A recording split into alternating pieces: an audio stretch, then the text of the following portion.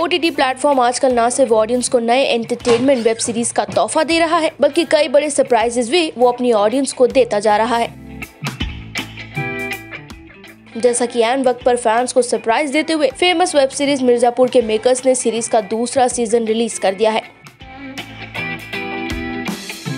इसके साथ ही दो साल से चला रहा फैंस का इंतज़ार भी फाइनली खत्म हो गया है। पहले खबर थी कि दूसरा सीज़न 23 अक्टूबर से लोगों के सामने आएगा। लेकिन मेकर्स ने फैंस के बीच इसके ज़बरदस्त क्रेज को देखते हुए इसे तीन घंटे पहले ही रिलीज़ कर एक नया धमाका किया है। यकीनन ये स्ट्रैटेजी फैंस के बीच अपने प्रोजेक्ट को हाइप दिलाने का एक नया तरीका है। ऐसे में क्या ओटीटी पर रिलीज़ होने वाली अगले महीने अक्षय कुमार की लक्ष्मी बॉम्ब के लिए भी मेकर्स और डिज्नी प्लस हॉटस्टार पर यही स्ट्रैटेजी लगाई जाएगी?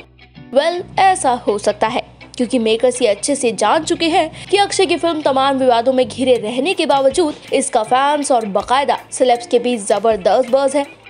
जी हाँ बड़े बड़े स्टार्स भी अक्षय की फ़िल्म के ट्रेलर को ना सिर्फ़ पसंद कर चुके हैं, बल्कि फ़िल्म को थिएटर में रिलीज़ करने की ख्वाहिश भी जता चुके हैं। और देखा जाए तो नेगेटिव ही सही, लेकिन अक्की की फ़िल्म लैंडलाइट में तो ज़रूर आ रही है। और दिवाली तक अक्षय की फ़िल्म का तगड़ा बज यूँ ही रहने वाला है।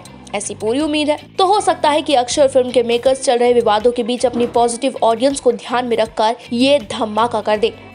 अगर ऐसा होता है तो यकीन मानिए, ये फ़िल्म तगड़ा मुनाफा कमा ले जाएगी। खैर, अक्षय ऐसा करते हैं या नहीं, इसका इंतज़ार तो अब उनके फैंस को भी रहने वाला है। आपको क्या लगता है इस पर? दीजिएगा अपना जवाब नीचे दिए गए कमेंट सेक्शन में।